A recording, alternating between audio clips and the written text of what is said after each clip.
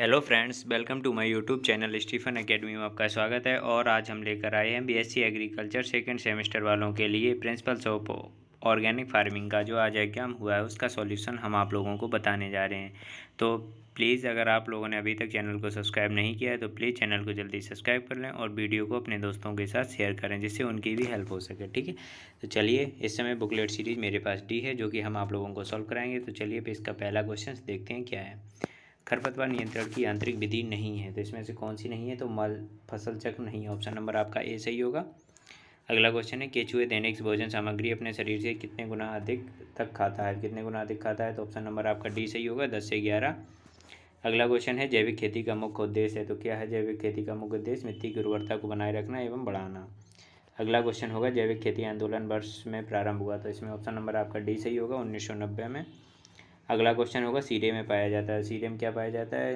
Option number आपका ये सही होगा नाइट्रोजन तीन परसेंट नाइट्रोजन तथा साढ़े, तीन से पाँच परसेंट पोटाश अगला क्वेश्चन है पशुओं के मूत्र और मल में युक्त बाद धारा, प्रवाह एवं अर्ध तरल पदार्थ को कहते हैं। क्या कहते हैं? सलरी कहते हैं। ऑप्शन नंबर आपका ए, बी सही होगा। अगला क्वेश्चन है पोल्ट्री खाद में पाया जाता है तो क्या पाया जाता है? Three point eight nitrogen and three point five phosphorus and तथा one point five percent potash अगला क्वेश्चन होगा हमारा, इनमें से सबसे हल्की इनमें से एक हल्की कार्बनिक खाद नहीं है तो कौन सी नहीं है? मुर्गी की बीट, हल्की कार्बनिक खाद नहीं ऑप्शन सी सही होगा।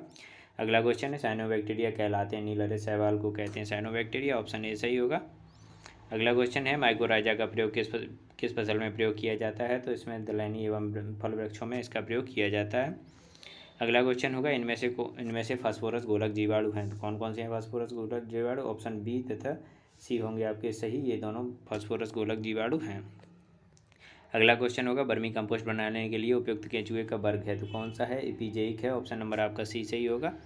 अगला क्वेश्चन होगा अना तिलहन एवं सब्जियों की फ़सल के लिए वर्मी कंपोस्ट की अनुशंसित मात्रा है कितनी है? ऑप्शन सी सही होगा आपका वन पॉइंट टू से वन पॉइंट फाइव टन प्रति हेक्टेयर ठीक है? अगला क्वेश्चन होगा, अनाज की फ़सल के लिए नाइट्रोजन स्थिरीकरण जीवाणु है तो कौन सा है? जेटू बैक्टर होगा ऑप्शन नंबर आपका ए सही होगा।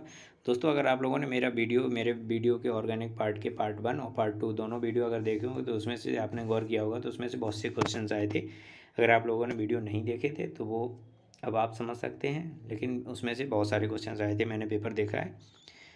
तो आप लोग वीडियो प्लीज़ ज़रूर देख कर जाया करें, जिससे आप लोगों के एग्ज़ाम में एग्ज़ाम में आप लोगों को क्वेश्चंस मिल सकें, ठीक है? चलिए आगे क्वेश्चन देखते हैं। आगे क्वेश्चन क्या है हमारे? निम्नलिखित में से कौन जैव जैव शाकनाशी है? तो जैव शाकनाशी कौन सा है? उपयोग डी ऑप्शन सभी होगा।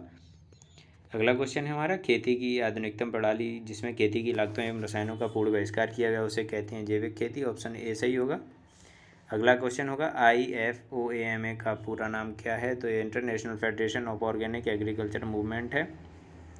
ऑप्शन सी सही होगा। अगला क्वेश्चन है, जैविक खेती के प्रमुख घटक हैं। तो कौन कौन से उपयुक्त सभी घटक हैं इसके? ठीक है?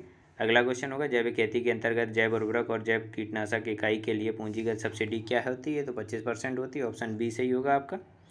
नेक्स्ट क्वेश्चन है, नीचे भूमि वाले, नीचे भूमि वाले धान के खेत के लिए उपयुक्त हरी खाद की फ़सल है तो कौन सी है? इसमें ढैंचा होगा ऑप्शन बी सही होगा। अगला क्वेश्चन है ट्राइकोडर्मा का प्रयोग अधिकतर नियंत्रण करने के लिए किया जाता है तो क्या नियंत्रण करने के लिए? ऑप्शन ए सी सही होगा आपका ए और बी दोनों चना छेदक तथा पली छेदक के लिए। अगला क्वेश्चन होगा, भारतीय मृदाओं में औसतन नाइट्रोजन पाया जाता है, कितना पाया जाता है? तो वन पॉइंट ज़ीरो थ्री से zero point zero seven percent पाया जाता है, ठीक है? अगला क्वेश्चन होगा हमारा, अधिकतर पौध पोषक तत्व तो मृदा में क्रिया द्वारा नष्ट हो जाते हैं किस क्रिया द्वारा? निच्छालन द्वारा। ऑप्शन नंबर आपका ए सही होगा। अगला क्वेश्चन होगा हमारा, केंचुए द्वारा छोड़े गए तरल अपशिष्ट पदार्थ को कहते हैं, क्या कहते हैं? इसे बर्मीवास कहा जाता है। ऑप्शन नंबर आपका इसमें बी सही होगा। आगे देखते हैं। सर्वप्रथम दलैनी राइजोबियम सजीवता का अध्ययन किया था। किसने किया था? डॉक्टर बी एन जोशी ने किया था। ऑप्शन नंबर आपका सी सही होगा। आगे देखते हैं। एक एकड़ भूमि के ऊपर हवा का जो आयतन होता है, उसमें कितने टन नाइट्रोजन होती है? इसमें कितने टन नाइट्रोजन होती है? उसमें साठ हज़ार टन होती है। ऑप्शन नंबर आपका बी सही होगा। आगे देखते हैं। इनमें से एक अवायु जीवी जब अवायु जीवी जीवाणु है। कौन सा है इसमें? नॉस्टॉक है। ऑप्शन नंबर आपका डी सही होगा। अगला क्वेश्चन है बर्मीवास में सूक्ष्म पोषक तत्व होते हैं तो क्या कौन कौन से होते हैं? उसमें उपयोग सभी होगा ऑप्शन नंबर आपके डी सही होगा। अगला क्वेश्चन होगा हमारा, एजोला रुब्रा है तो एलोजोला रुब्रा क्या है? एक जैव उर्वरक ऑप्शन नंबर आपका बी सही होगा।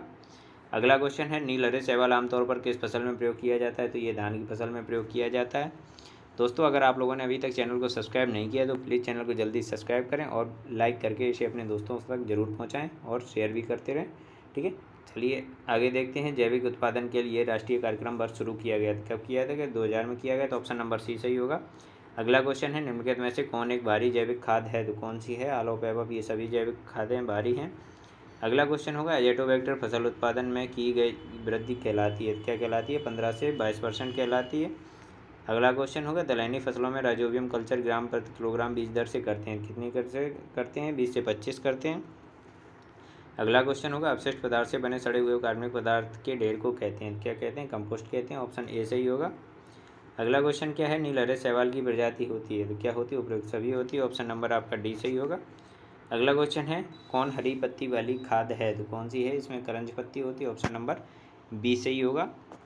अगला क्वेश्चन है कंपोस्ट खाद में लगाने के लिए तैयार होती है। कितने में तैयार होती है? तो आठ से नौ माह में तैयार होती है। ऑप्शन सी सही होगा आपका। अगला क्वेश्चन होगा, कार्बनिक खेती के जनक हैं। तो कौन से हैं कार्बनिक खेती के जनक? अल्बर्ट हावर्ड को कहा जाता है कार्बनिक खेती का जनक, ठीक है? अगला क्वेश्चन होगा, मूंगफली की खली में नाइट्रोजन प्रतिशत होता है, कितना होता है? सेवन पॉइंट थ्री परसेंट होता है। अगला क्वेश्चन है, निम्नलिखित में से कौन सी अखाद्य तेल खली है? तो कौन सी अखाद्य तेल खली है? तो ये हमारी कैस्टर की कहलाती है, अरंड की खली। अगला क्वेश्चन होगा हमारा, फ़सल अवशेषों को जलाने से तत्वों का ह्रास होता है कितने तत्वों का? सौ परसेंट नाइट्रोजन तथा twenty five percent phosphorus option number A सही होगा।